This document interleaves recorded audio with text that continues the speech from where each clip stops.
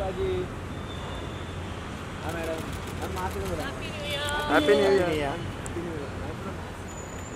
एक without mask Deepa ji पीछे पीछे पीछे मैम मैम पीछे थैंक यू भाई हैप्पी न्यू ईयर सभी हैप्पी न्यू ईयर तो जल्दी गई